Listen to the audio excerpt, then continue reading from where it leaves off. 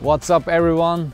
Today we're gonna learn how to wheelie a fast, fat, strong street bike and we're gonna do that step by step to be safe.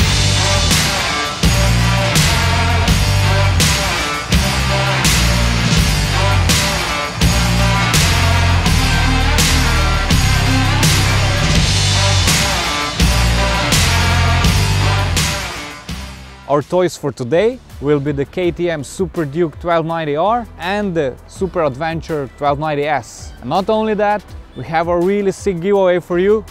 Boom! We teamed up with my sponsor Scorpion Exo and we're gonna give away a really sick ADX1 helmet.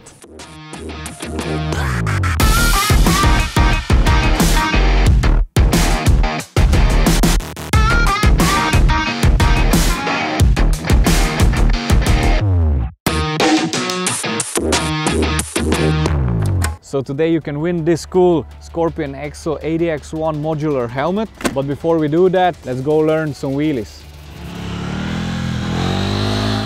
Before we head to the first wheelie exercise, you need to consider three things. First one is a safe location, or you find an empty parking lot, or like behind me, a training facility, and don't even think about it. Public road is not a place where you can practice wheelies. Second thing, safety gear. When you learn new tricks, always wear as much as possible protective gear, such as helmet, gloves, motorcycle jacket, knee protectors, motorcycle boots, you name it. The only thing I would not recommend when you learn a wheelie on a street bike is to wear thick motocross boots because with them you don't have really a good feeling on the foot brake which is crucial when learning a wheelie. The third thing and the last thing, bike prep. For easier balance, I recommend you to drop the rear wheel pressure up to 1.5 bar.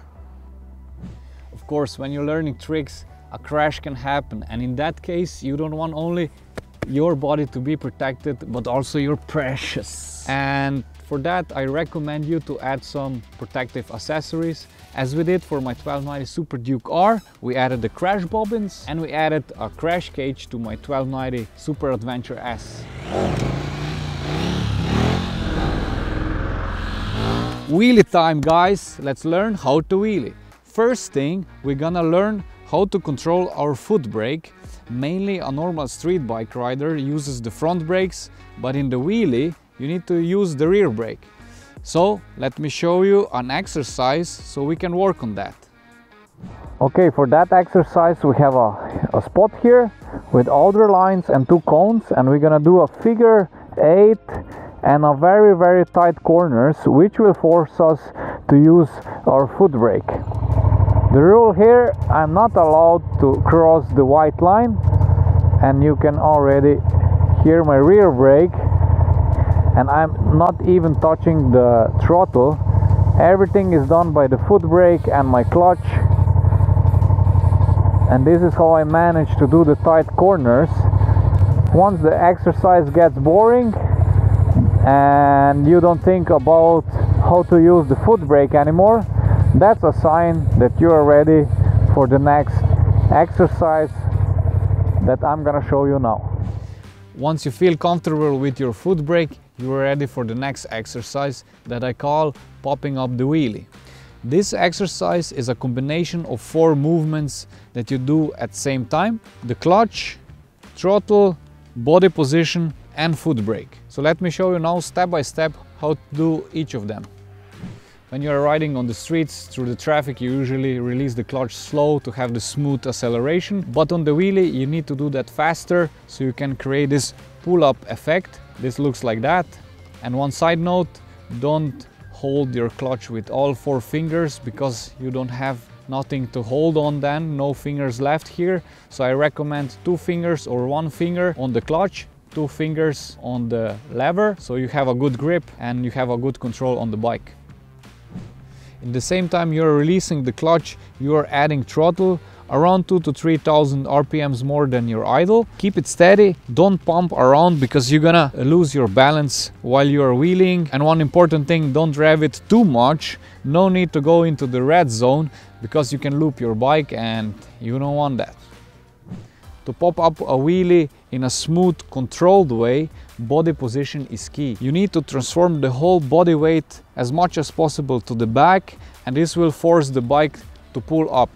What I mean with that, move your ass to the edge of the passenger seat, the upper body position, not on the front. Don't pull with your hands, but move to the back, stay there, and once you're up, just lean back and stay leaned back. And this will help you to pull up the wheelie controlled and in a really nice, smooth movement. The last move that you need to combine with your clutch, throttle and body position is the foot brake. It's there for two reasons first is to smoothen up the landing so you touch it gently or if you have a SOS situation and you are just before you loop the bike you hit the brake you close the throttle and you land back and you save the crash Okay guys, we are ready to pop up some wheelies. So one important thing before we start this exercise, if you sit on a newer model bike, usually this kind of bikes have a lot of electronics, a lot of riding assistance, so switch everything off, ABS off, MTC off, traction control off, and one small tip that's gonna help you to make a smooth wheelie if your bike has riding modes like my Super Duke, it has track, performance, sport, street and rain.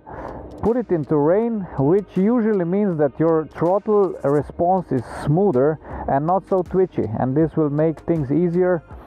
So I have in rain mode and everything is off and we start to roll in the first gear we're gonna do that trick everything in the first gear so slow approach clutch and throttle and pop up and down. And once again pop up and down. Try to use as much as possible your foot brake and not your front brake. So with that you're gonna get through the practice more and more control with it. The goal here is to go higher and higher in the angle but not longer and longer. So you can start with baby steps just a small pickup like this. This is enough. Just to get a feeling what to do with the clutch throttle body and foot brake. So pop up you see? So you're gonna hear that I will not rev the bike a lot. As I said 2 to 3000 RPMs and not too much. So clutch is in. And clutch out the body and back pop up. And so I'm not pulling up the bike with the hands but I'm really leaning back and this helps me up to pull up the bike. So boom. Once you feel comfortable with the clutch and throttle then you can focus on go higher in the angle and this will actually result in the longer wheelie but focus more on the angle to go higher and lean back. Then body position is now the next focus so up and lean back and you see it was already a longer wheelie. The more you lean back the better will be the wheelie.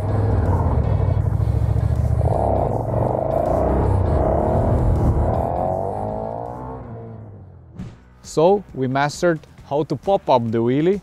Now we wanna stay in the wheelie. So it's time to learn the wheelie. Our goal here is the balance point. This is the sweet spot you want to be in and it feels like the bike is weightless and you are just flowing away on the back wheel. And here's four steps how you can do it.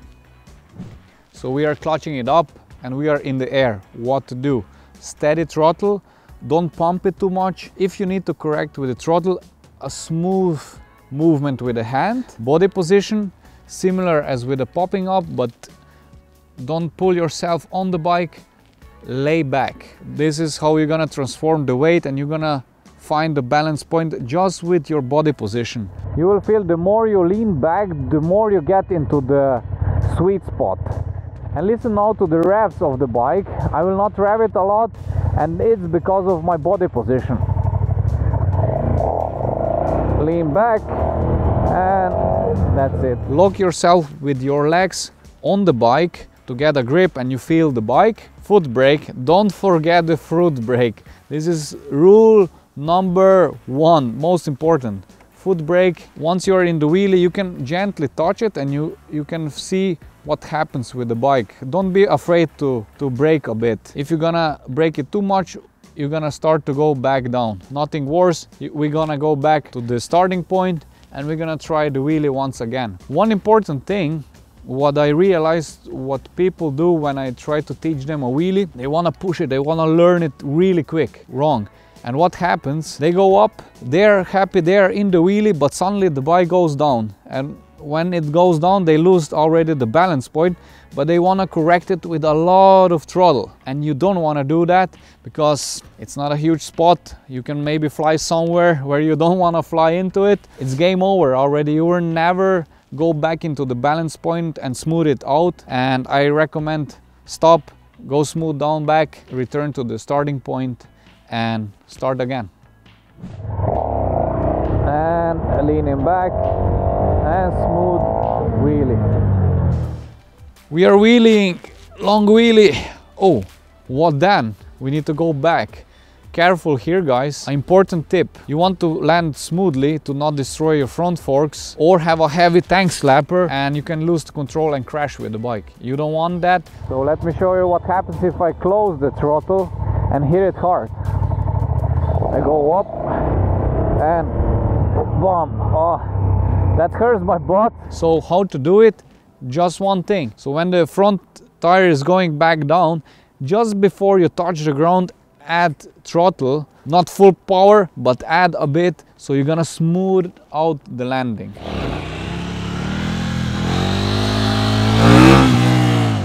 And this will keep your front fork safe and also you.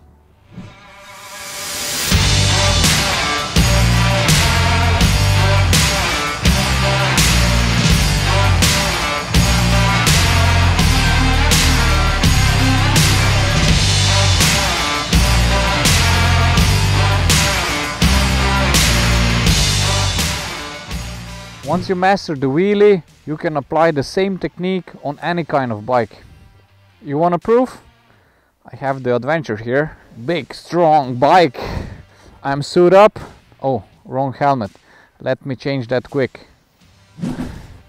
Okay, now I'm ready.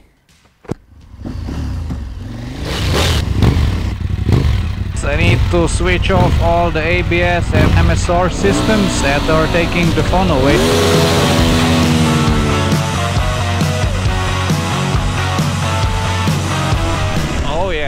Oh yeah, so smooth. V-twin engine is pulling very smooth. It's much more smoother than my Duke.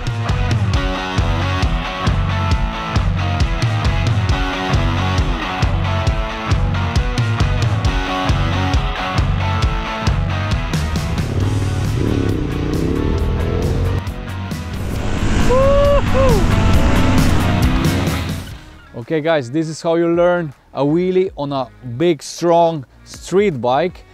But if you have an off-road bike at home, my buddy Chris Birch, who is my fellow KTM ambassador, so he did an awesome video on how to wheelie with an off-road bike and the link is in the description. So go check it out, you will not regret it. Giveaway time, I didn't forget about it guys. Thanks for staying with us through the whole how-to video. And now it's time to show you how you can win this sick Scorpion ADX1 helmet. Three simple things. First, follow Scorpion Sports Instagram account. Second thing, share the vlog on your social media, whichever Facebook, Instagram, Twitter, whatever. But don't forget to tag me so I can see if you shared it. Third thing, tell me in the comment section below what's for you a good helmet, what kind of feature it should have, how it should look like, and so on. Let me hear. That's it guys, good luck, boom. So I hope I could help you out with this tutorial to understand the wheelie. And in case you still have fear and you're afraid to do wheelies, we developed a wheelie academy for that. And I can help you one-on-one -on -one how to do a wheelie. And we did a special machine for that that takes away this fear.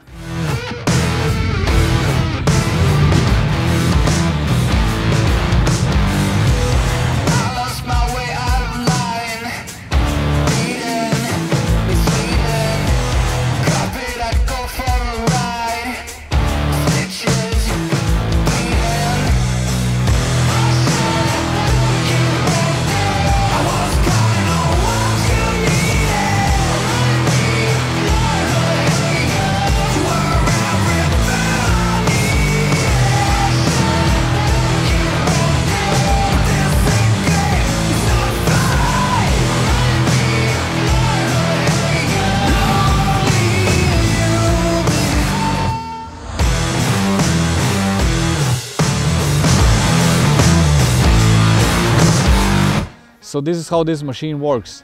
So you are more than welcome to join me. You can find the link in the description with more information.